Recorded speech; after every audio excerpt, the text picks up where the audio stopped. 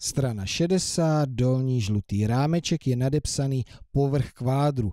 Vidím, že pro povrch kvádru je zde takový nějaký trošku náročnější, složitější výpočet. Pojďme se podívat na video povrch kvádru a ten výpočet si podrobně představit. Tak. Povrch kvádru získáme, když sečteme obsahy všech jeho stěn. Značíme ho velkým písmenem S. Kvádr má šest stěn. Tři dvojice stejně velkých protějších stěn. Takže kvádr, který se nám zde objevil, se rozložil v síť a vidíme zde dvojice stejně velkých protějších stěn. Dvojice zelených, dvojice modrých a dvojice červených protějších stěn, které jsou stejně velké. A jdeme počítat. Obsah jedné stěny vypočítáme. S rovná se A krát B. Takže obsah zelené stěny. Máme zde dvě a my vypočítáme obsah jedné z nich. V našem případě A krát B to je 2 cm x 3 cm rovná se 6 cm čtverečných. Obsah modré stěny. Zase zde máme dvě protilehlé a my vypočítáme pouze obsah jedné. 1 cm x 3 cm rovná se 3 cm čtverečné. No a ještě nám zbývá obsah červené stěny. Zase jsou zde dvě a my vypočítáme pouze obsah jedné. Takže 1 cm x 2 cm rovná se 2 cm čtverečné. Tak, od každé dvojice máme vypočítaný obsah té stěny. No a říkali jsme, že tady jsou dvě. Jedna stěna má obsah 6 cm, takže ta druhá také.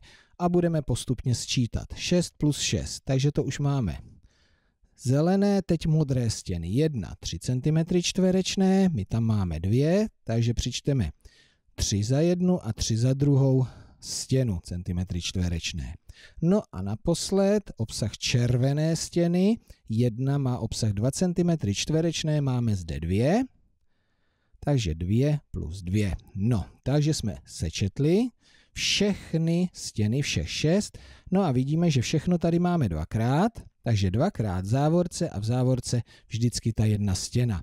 Čili dvakrát, závorka byla 11, rovná se 22, S rovná se 22, povrch kvádru toho našeho rovná se 22 cm čtverečných. Pozor, při výpočtu musí být rozměry stran uvedeny ve stejných jednotkách. Tak, a já bych si z toho ještě udělal nějaký vzoreček. Takže e, značíme velkým písmenem S povrch kvádru a teďka si ještě tady tu hranu 2 cm dlouhou označím jako A, tu hranu 3 cm jako B a tuhle tu hranu jako C. Čili tady z tohohle toho výpočtu. Všechno tam máme dvakrát. Dvakrát zelenou stěnu. Jak jsem ji vypočítal? 2 cm x 3 cm, čili to byly A krát B. K tomu modrou stěnu 1 cm krát 3 cm, čili C krát a ty 3 B.